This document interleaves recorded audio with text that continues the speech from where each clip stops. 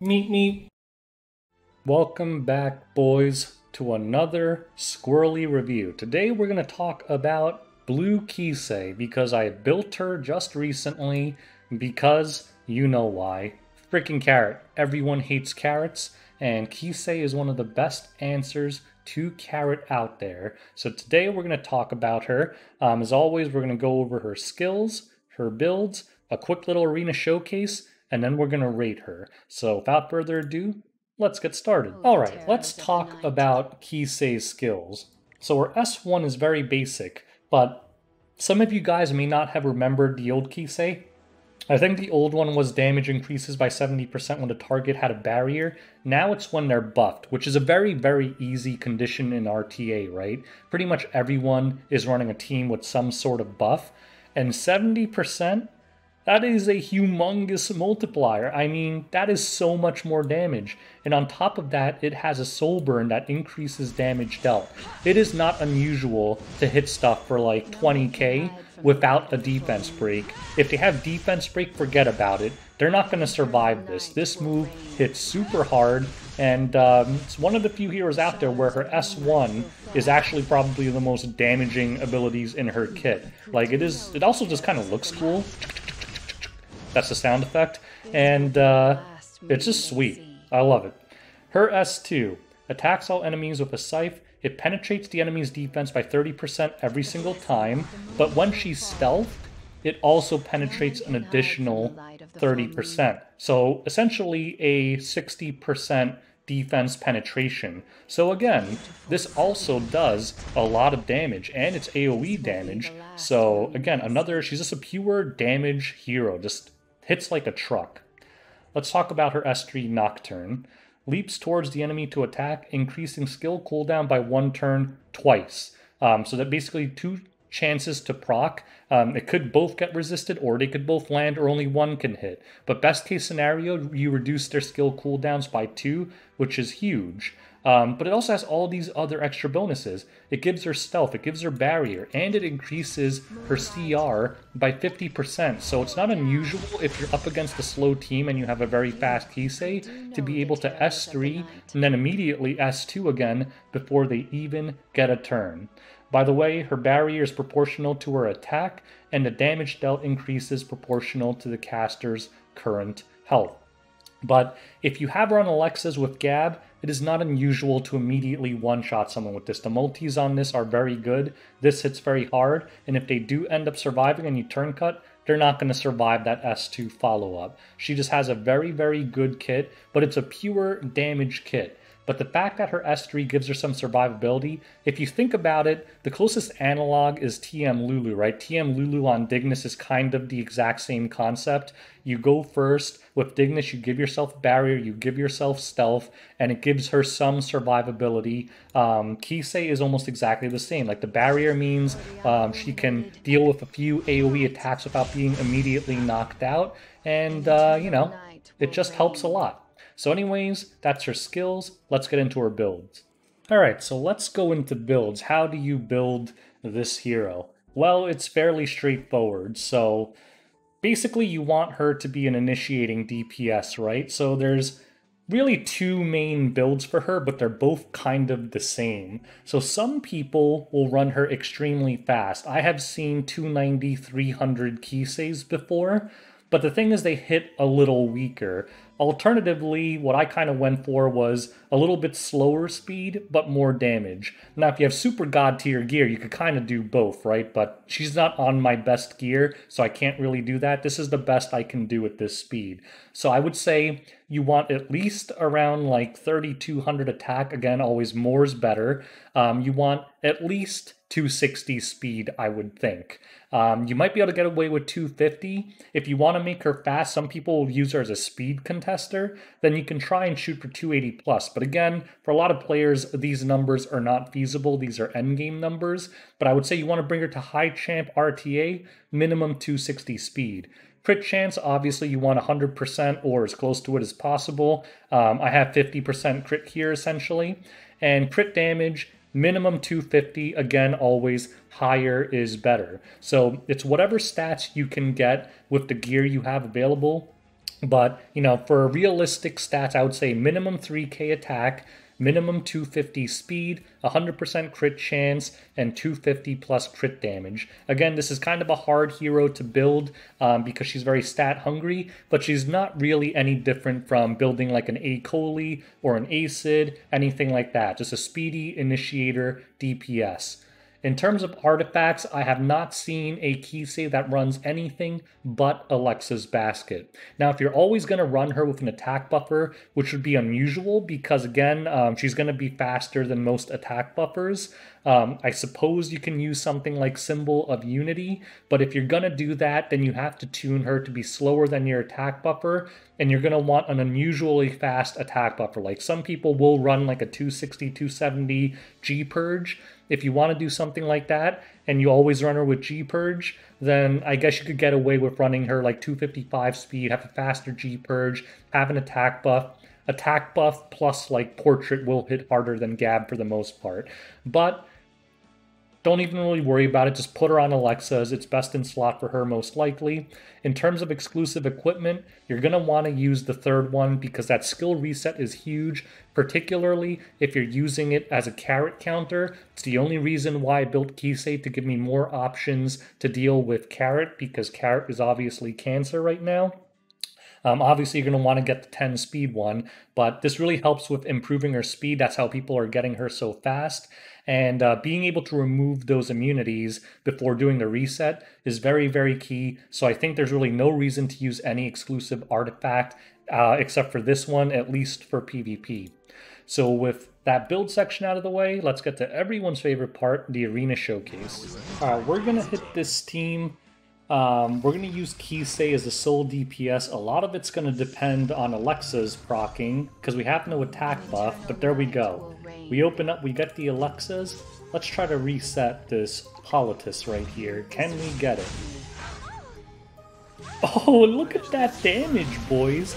Immediate one-shot onto that Politis through Fallen Cecilia shield. Like, this is why, um, Kise is actually quite good. The amount of damage she can whip out is just uh, outrageous, to be honest. So we're going to hit this um, FCC, and then we're going to get defense buff up, and then we're going to eat a little bit of damage from this LQC here. But that's okay. We'll just take it. We don't have a dark unit, so it won't splash into our Kise. So ow, we accept it. And here we go. We don't have Soul Burn, though, but you know what? We're gonna go into LQC anyway. Look at that damage. Huge damage. Now we can just uh, S3 with LR Krau here. This might just wipe out the LQC. It does. look at this, just working out like a charm. Um, we're gonna just uh, horse into this FCC. The S2, I don't have max molas into my uh, Kise S2, so it doesn't hit hard. It's missing 20%, so let's just soul burn S1. Oh, and look at that. A tanky Fallen Cecilia. No problem for Kise. She just one-shot. And here we go, we gab again. Let's go for it. Ooh! Look at that Kise damage. So, this is why Kise is so good right now. She just hits like a freaking truck. Let's try a different style.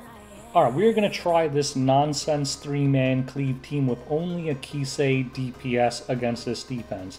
Now, I already failed twice because this is a degen Arby, and both matches, he dodged everything encountered. So, for just this match, I switched Kise to Symbol of Unity to make sure that doesn't happen. Now watch this nonsense. Um, actually, this did not work out because my Kise outsped my Oxlot speed RNG. That's not supposed to happen, but it's okay. We're going to try and make this work. So watch. Now we boost up Sinful Angelica, actually. And we're going to make sure that we get this uh, immortality up so that we can extinct this RB. Okay, LR Krau's going to do his nonsense. But that's okay. We're perfectly fine with that. Alright, and now what we have to do is finish off this damn RB. And this time we do. The symbol of unity does its job. Um, doesn't really matter what we hit here, so we'll just hit this, uh, um, what's his name, LR Krau. We're gonna eat a hit from ML Chem? No, we don't even need it. So watch this Silbrum, because remember, 70% more damage on their buff. Can we one-shot him? Easy peasy. Just a one-shot. Then we're gonna bump up Kise again. Look at how this is working. Boom. Alright. And then Sinful Angie. Boom. so look at this ghetto three-man cleave team. Oh my god, she's going ape right now. She is absolutely going ape. Boom! Kise Cleave Showcase. So the symbol of unity did its job. Uh, you know, I lost twice from MLDBs, but when it works, it works. And I think uh, we'll leave it there. I think that was a pretty hilarious team, albeit not going to be very good against a lot of things. But I think it really showcases just how hard Kise can hit. Alright, so we talked about Kise's skills, her builds, we had a fun little arena showcase, so now let's summarize. Is Kise good?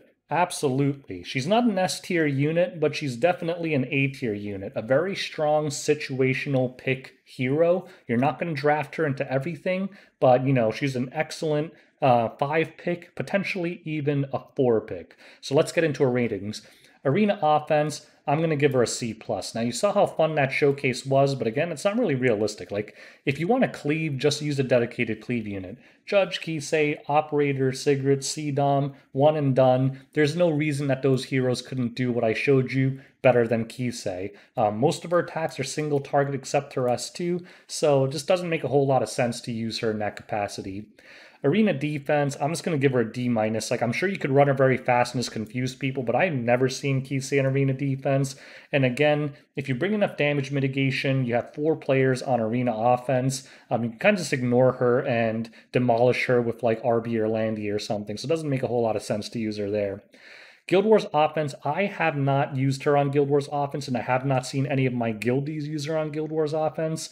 Um, I think the problem with her on Guild Wars offense is if you build her the normal way, um, she's not going to one shot anything 60% of the time, right? Because you're going to be reliant on Gab. So you would kind of have to run her as like a secondary follow up to an attack buff or just try to outlast them with Kise, which I suppose you could, but I just feel like there's most likely safer options out there, unless it's some kind of like tanky protect the Ravi team, in which case you could probably use her to just blow up the Ravi.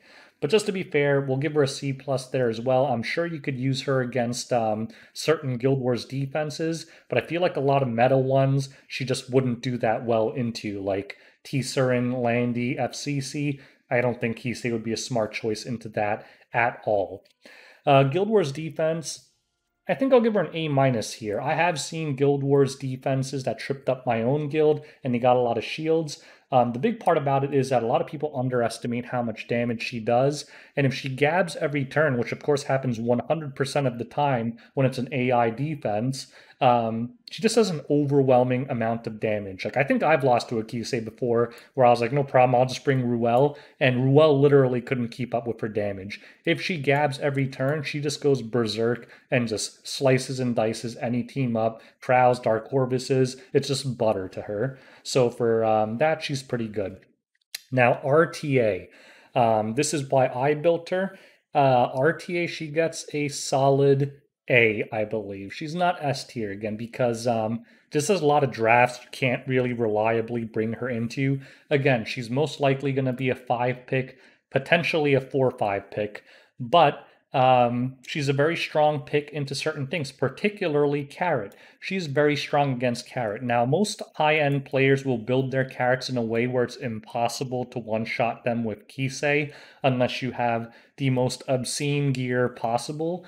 Uh, most carrots will be able to survive, but if you gab in the opener, you can probably get her down to like 30 40%, and that'll be good enough to finish her off with a follow up. But more importantly, you'll reset her S3. And if you get lucky, you'll reset it by two turns. And Carrot without her S3 actually doesn't do a whole lot. She just kind of throws her little pumpkin face at you and decreased speeds.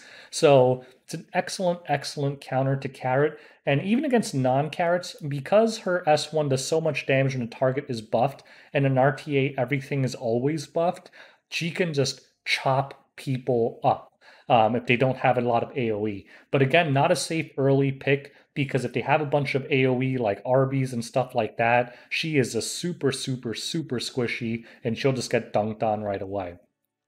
So anyways, that's my review of Water Kise. If you have this hero and want to build her, go for it. You're not going to regret it. She hits hard. She's fun. She's a waifu. Um, so yeah, do it. So anyways, I hope you guys enjoyed this review. If you want to see more hero reviews, make sure you like and subscribe, although I know you did that already because uh, you love squirrels, who doesn't? Um, and uh, have a splendid day. Till next time, boys, peace out.